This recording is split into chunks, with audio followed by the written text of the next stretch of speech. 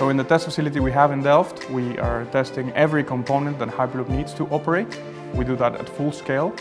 And the latest we've come up with is the Hyperloop switch.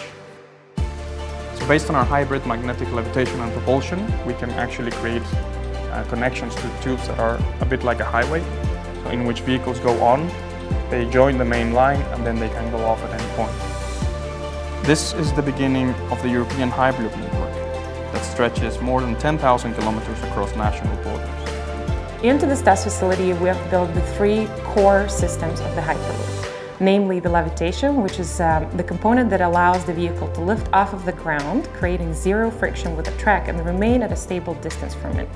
In addition to that, the vehicle is now able to propel back and forth, which is what we call the propulsion. So once the vehicle is moving, we use uh, lateral tracks to actually keep it in place. And when we need the vehicle to go from one track to the other, we pull them towards one track. This way we can decide where do we want the vehicle to go. All of these components were tested in our facility at Delft, uh, in which we have a near vacuum environment.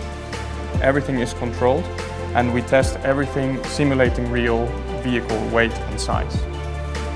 What is great about the realization of this facility, that it's not just the work of a single startup, but it's really an ecosystem that has been working together. So all of the different subsystems that are being tested in this facility are already co-developed and supplied by partners right now. Steel is a vital component of sustainable future mobility.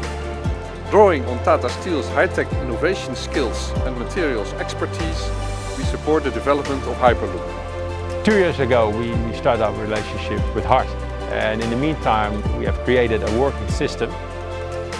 Especially during the whole process of getting this Hyperloop test facility finalized project, there were continuously more and more partners adding to, to help and to make it a reality.